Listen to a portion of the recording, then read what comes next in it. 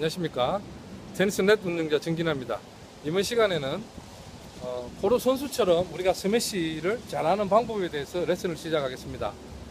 어, 최근에 이제 그 약물 복용 때문에 어, 세계 여자 테니스계에서 지금 선수 생활을 하지 못하고 있는 출전 정지를 먹고 징계를 받고 어, 출전하지 못하고 있는 사라포바의 스매시에 대해서 여러분들한테 레슨을 시작하겠습니다.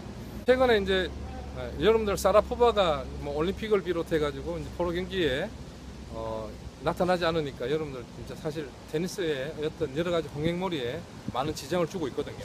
저는 오늘 개인적으로 사라포바 선수의 어떤 기술적인 측면에서 서브나 포핸드, 백핸드, 발리, 스매시 중에서 여러 가지 부분에 있어 가지고 어, 유심히 이제 기술을 보게 되면요. 우리가 프로 선수들한테 배울 수 있는 그런 여러 가지 기술 중에 하나가 보면은 분명히 그 선수가 가지고 있는 기술 중에 하나가 기본에 충실하다는 것입니다. 그래서 어, 수많은 수많은 공을 치고 연습을 통해 가지고 완벽하게 스매시하는 선수의 어떤 동작을 볼 때에 그래도 기본에 충실하다는 거죠. 100%의 성공률을 높이기 위해서 백스윙이나 여러 가지 뭐 임팩트나 그리고 피니시 동작에서 나타나는 기술을 우리가 중점적으로 볼 때에 테이크백을 미리 한다든지 그 다음에 어, 임팩트 되는 순간 어보드 스윙을 만들기 위해서 백스윙 동작에서 어떤 라켓의 각도가 좋은 임팩트를 만들기 위한 최적의 조건을 만들어 준다는 것이죠. 우리가 이번 시간에는 그런 사라포바의 기본에 충실한 어, 스매시 기술에 대해서 여러분들한테 집중적으로 레슨을 진행하겠습니다. 사라포바 스매시는 어, 빠른 준비를 위해서 라켓을 바로 들어 올리는 백스윙 동작을 하고 있습니다. 그 기본에 충실한 백스윙 동작입니다. 예, 백스윙 동작에서 라켓과 팔의 어, 이상적인 각도는 어, 임팩트 시에 어, 파워와 정확성을 높이기 위해서 백스윙 동작에서 이미 만들어집니다.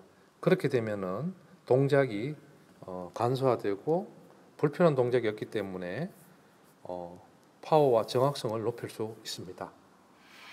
라켓을 뒤, 등 뒤로 떨어뜨리는 동작은 임팩트 시에 파워의 원동력이 됩니다.